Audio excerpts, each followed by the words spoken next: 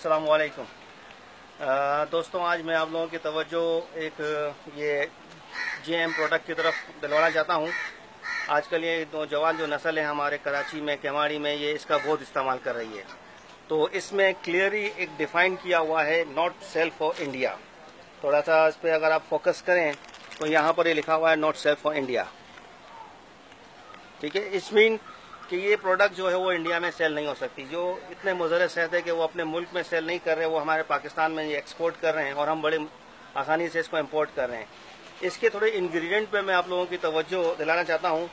बाकी सब चीज़ों के नाम तो इन लोगों ने लिखे हैं तो मैं सॉरी थोड़ा सा मैं ग्लासेस पहन लूँ।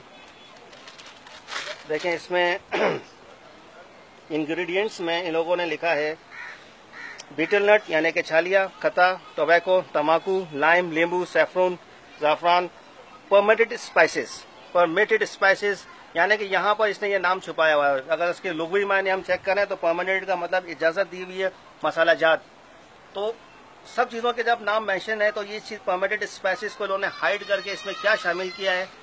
तो अकॉर्डिंग टू माई नॉलेज और इनकी एक वेबसाइट है गाँव माता डॉट कॉम करके कुछ इंडिया की साइट है, आप विज़िट कर लेना।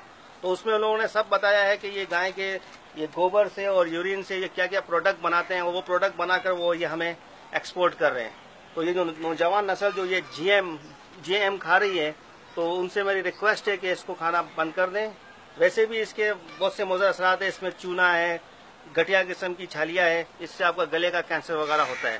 तो थोड़ा सा आप इसको फोकस करें कि ये क्या चीज़ मिलाते हैं।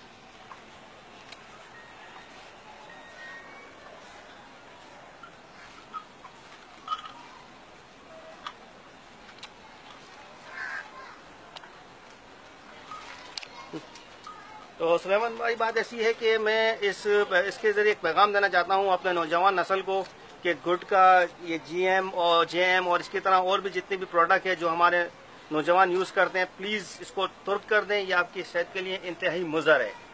शुक्रिया।